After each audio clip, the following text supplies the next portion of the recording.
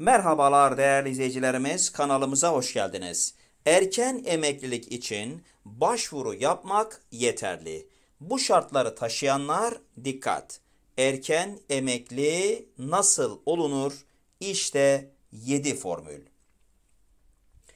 Emeklilik için yaş ve prim günü şartını doldurmaya çalışanlar daha erken emekli olmanın şartlarını merak ediyor. Tüm çalışanları yakından ilgilendiren erken emeklilik hakkında merak edilenleri videomuzda sizler için derledik değerli izleyicilerimiz. Erken emekli nasıl olunur sorusu emekli olmaya yaklaşan vatandaşların gündeminde yer almaya devam ediyor. Doğum ve askerlik borçlanması çoğu kişi tarafından bilinirken bazı şartlarda da erken emeklilik hakkı doğuyor. Bazı şartların karşılanması halinde erken emeklilik hakkı doğuyor. İşte erken emeklilik için 7 formülü sizler için açıklıyoruz değerli izleyicilerimiz. Birinci formülümüz çocuklar avantaj. Kadın çalışanlar için çocukları üzerinden prim kazanma imkanı bulunuyor. Bu imkan 3 çocuğa kadar borçlanma ile 2160 gün yani 6 yıl kazandırıyor.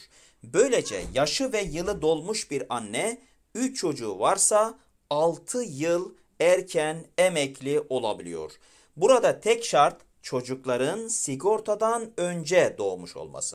İkincisi askerlik öne çeker. Erkeklerde ise askerlik süreleri hem yaşı geriye çekerken hem de prim kazanma imkanı veriyor.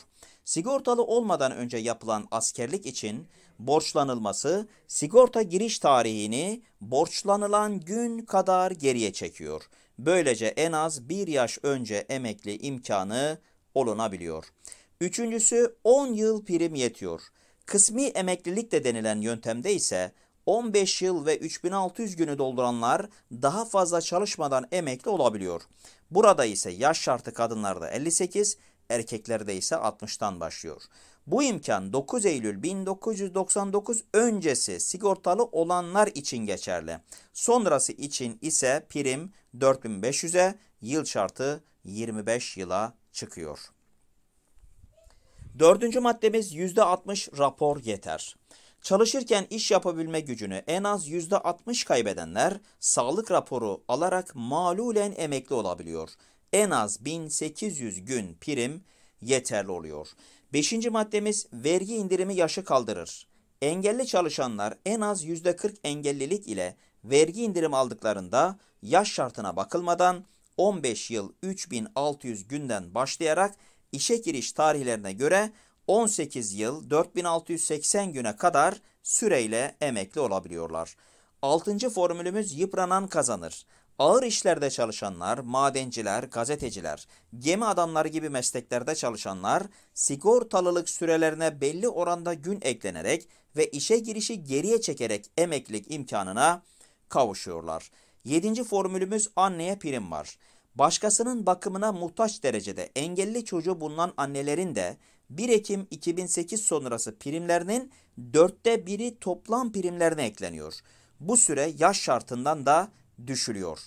Askerlik borçlanması nedir, nasıl hesaplanır?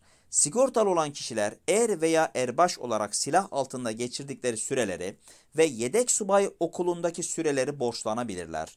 Askerlik borçlanması, borçlanılabilecek sürelere ilişkin primlerin SGK'ya ödenmesiyle yapılır. Askerlik borçlaması yapmak isteyen sigortalı SGK'ya askerliğini yaptığını gösterir belgelerle birlikte başvurur ve yalnızca bu sürelerin primlerini ödeyerek borçlanma yapar. Değerli izleyicilerimiz, yayınımıza katıldığın için teşekkür ederiz. Böyle bilgi ve haberlere ulaşma adına kanalımıza abone değilsek, abone olursak memnun oluruz. Videomuzun beğen tuşuna basar ve bu önemli videoyu arkadaşlarınızla paylaşırsanız memnun oluruz. Bir sonraki videomuzda görüşmek üzere. Hoşça kalın değerli izleyicilerimiz.